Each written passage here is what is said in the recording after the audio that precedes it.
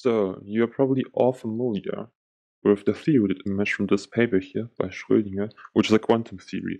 And you surely also know that the theory us a lot of problems uh, in visualizing it and understanding its behavior in some intuitive way. For example, you know the tunneling effect, and you won't expect a classical cat to just tunnel through a potential wall. What I'm going to show you in this presentation is an algorithm called the split operator Fourier transform algorithm, which can be used to describe quantum time evolution and therefore, for example, the tunneling effect. And I think it also might be interesting for you as material scientist, on the one hand, because you also might be interested in time evolution of your properties, especially for nanosystems, quantum systems. But on the other hand, I will show you a derivation of this algorithm, which can also be used to derive other algorithms like the Velocity-Verlet algorithm. And you also see some methods to judge how, you, how good simulation is. And I think it might be useful for you if you then yourself want to do some simulations on other systems. So in doing this, we're going to start at the foundations, which is the Schrödinger equation. In its time-dependent version, it looks like this. So you have your state, and then you derive it uh, after t. And then it's the same like if you apply your Hamiltonian to your state t, and if you integrate this equation here for time-independent Hamiltonian, you get this equation here, which tells you that if you apply this thing here with a Hamiltonian and exponential to your state at time 0, you get out your state at time t. And due to this behavior as it propagates our wave function from time 0 to time t, we call this object here propagator. And this object will be the main focus of this video. And if you don't know, this Hamiltonian here gives us the total energy and it's therefore built out of two parts, namely the kinetic part and the potential part. And in general, you write this kinetic part here with the momentum, so it tells you how fast the cat moves, and the potential part is some function, most cases, of x, which is your coordinate, in a classical Cartesian space, for example, and it tells you how your potential looks like in which the cat moves. So let's focus on the propagator.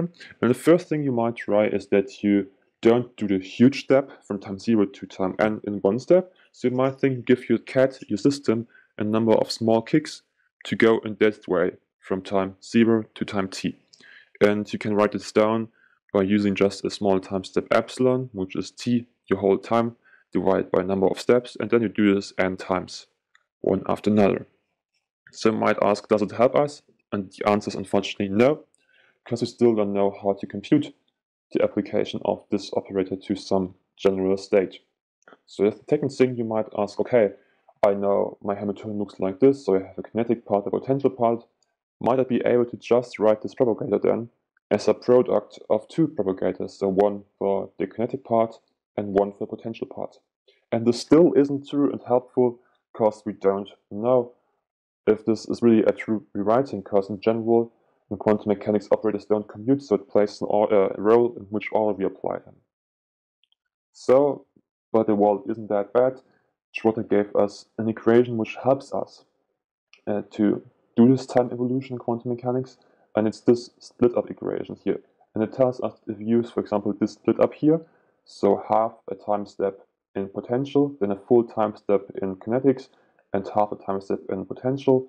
And if we do this for an infinite number of time steps, this is really, really, really tiny time steps, it is an exact rewriting of the original equation. So this really is really helpful because now we know that this is an a controllable approximation. It will get better if we use more time steps. Up to here we are totally abstract, so we just use Dirac notation for state psi. And if you don't know this equation here or this form of writing this down, don't worry, it's just Dirac's notation and just tells us that we now go from a general state psi to a more to a basis. We project it into a coordinate representation to a coordinate basis, and this gives us then our state psi at some position x0 if I project it onto x0 for example here, which is here. And after some algebra, which isn't really difficult, I uh, show you this in a note which I provide you with. You see that you get this equation out here, which is the most important one in this video, because it just gives us our algorithm. So we start with our wave function in some coordinate representation at time zero. Then we apply our potential propagator, which looks similar to what we had here for half a time step. And then we have two interesting parts here because we have integrals with some special form. And you hopefully recognize that these two integrals are just Fourier transforms. So we start here in our coordinate representation and then Fourier transform it to our momentum basis. And in the momentum basis, we then apply our kinetic propagation, which has a p in it, and then we go back from momentum basis to coordinate basis using a Fourier transform again, and then can apply our potential propagation a second time to complete the time step. If you write it down in an algorithm, it looks like this. It's really simple, just a few lines. So we start with our state in some coordinate basis, then we have to use a grid to discretize our system, and so we have some points in which we compute the time evolution on. And then we just apply this exponential operator here, this potential propagator for half a time step. Then we do this Fourier transform into our momentum basis, in which a cat maybe doesn't look that familiar to us because we're more used to moment to a coordinate representation. Here we can then apply our potential, uh, our momentum propagation. So you have here your momentum squared and then a time step. And then we just go back to the coordinate representation via inverse Fourier transform and then can apply the last uh, half time step for potential propagation. And this is the algorithm which is still used uh, today, although it's so simple, it's often used as a benchmark for new approximations. So let's apply it to some real examples, for example, for a free wave packet. And what I show here is the wave packet of two different masses. So here I have a lighter one and here I have a heavy one. And what you see in red is psi squared, is the probability density in Born's interpretation of quantum mechanics. And in blue you have the wave function. And what you see is that both wave functions oscillate. But this here remains localized, whereas this here tends to spread out in the space it has. And this is some general behavior of quantum systems and closely linked to the, what we call in German Heisenbergsche Unschärferelation, which is in English the Heisenberg uncertainty principle, and which tells you that you have problems with uh, studying quantum systems as they tend to delocalize, so they tend to spread out, and it's just what you see here. The classical system, the heavy one, tends to be localized on this time scale, which we study, whereas this light one tends to spread out in the space it has. what you also see here is that we study two additional properties of our system, which are the norm and the energy. And we do this to check if our simulation is correct. So you know that psi squared gives you the norm and probability density, and the probability to find a system somewhere should remain constant over the simulation. Uh, similar uh, holds for the energy, which should remain constant over the simulation, as we don't add or remove energy from our system, therefore this should always remain constant. So these are two useful things to study over your simulation to see if it really shows you real behavior or not. So a more complicated example might be using one potential wall.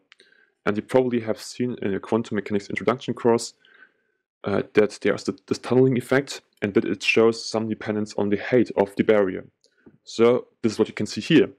Maybe it's the first time you see this really in some animation. So you see that for a high barrier, which is shown here on top, some part of or most of the wave function just gets reflected and can't tunnel through wall, whereas for the uh, smaller, more uh, potential for a small potential wall, uh, some most of the packet can just travel through the wall, and therefore you have now this more complicated interference patterns, because uh, you have this transmittance and also the periodicity of the system, which then gives this interference pattern here.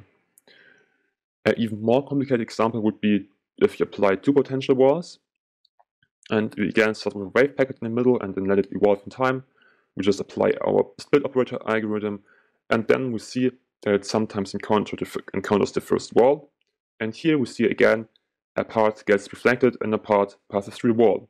But what you also can see here, as also in the previous example, we have some problems in energy conservation. So with this settings here, the simulation is probably not the best one, so you might ask how can I improve this? And the first thing one might try is uh, using another time step. So in Trotter you can show that the time step, the decisive time step is connected to the error uh, with the order of 3. So I might try a smaller time step, which I did here, and it takes a much longer to compute this evolution then. And unfortunately, you see that you get basically get, for this system here, basically the same evolution, which tells us that this time step was appropriate or good enough to study the system. So the second thing one might try, okay, one might use a finite grid, and then it gets really expensive, uh, and which is also the main drawback of this algorithm, that it really gets expensive if you go to more dimensions. So I ha had to run a simulation here overnight, and I also only used half of uh, the total time, and I also didn't uh, save this animation here because it was would just take too much memory, and I don't know if my computer could do this. so what I will show you here is the last step of the simulation here, and then we compare it to the old simulation and see when it's at the same uh, state here, and just compare the energy convergence in both cases. And I think it's now at the same state, and you see that here we have a much better energy difference compared to initial state than here. So this might be a way to improve our simulation, although you also have this trade always have this trade-off between time step size, grid uh, grid size, grid spacing, and simulation time. So you always have to consider if you want to do heavy calculations or if you can could use fine uh, less fine settings to get the same results. So what I've shown you in this video is how to go to an algorithm which can which can use to study quantum dynamics with controllable approximations because we exactly know where we introduce our approximation and we introduce our approximation at the Trotter split up and we exactly know how large this error is at the step. We then saw two applications in quantum mechanics, which are to the uncertainty principle and to the tunneling effect. And then we also saw two measures which you can use to judge the convergence of your simulation. And then we got a bit of a feeling of the influence of grids and time steps in the trade-off between simulation time and how accurate the results will be. I hope that it might be helpful for you and you might be remember might remember part of this presentation if you study molecular dynamics, for example, you might see some similarities between the Liouville operator formalism and this formalism I showed you here. I hope also this was enjoyable. I have a bit of a cold, so I hope you understood everything, although my voice isn't that clear.